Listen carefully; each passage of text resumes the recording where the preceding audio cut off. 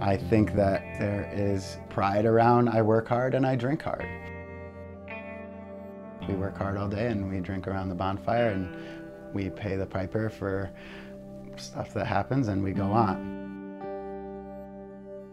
I worked with a lot of alcoholics and, and drug addicts. I realized that all of those jobs were not, I was not going to be able to do them and, and sustain my own recovery. Day 29, the day after you get out of treatment, the, the thinking is, okay, I'm better. And I go back to my community and I go back to the same routines and the same people. It's a recipe for failure.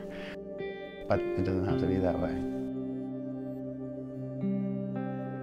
There was a group in 2001 of uh, local recovery warriors.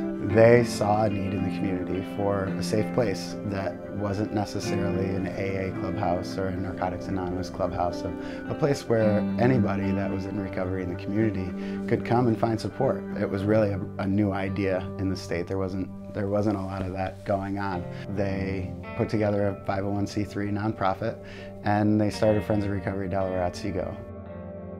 I came here in very early recovery uh, to AA meetings. This is where I found support. When the opportunity came up to take some education, I did it. And then when a job became available, I was offered the job.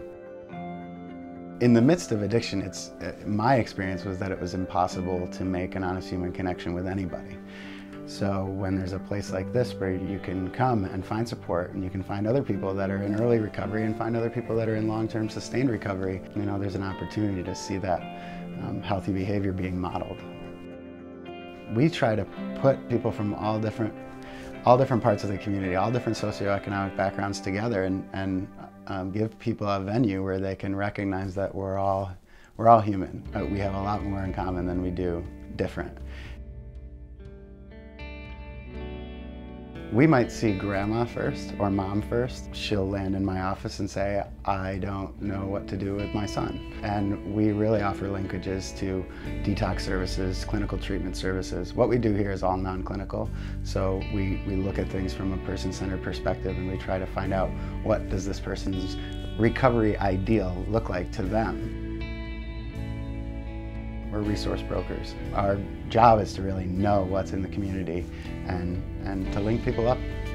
If it's food, we are sandwiched between two food pantries. So we might take somebody by the hand and walk downstairs and introduce them. We try not to stay in that disease place. We try to look at, you know, the bigger picture.